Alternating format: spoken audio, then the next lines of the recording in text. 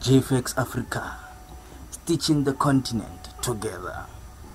This t-shirt is available for kids as well.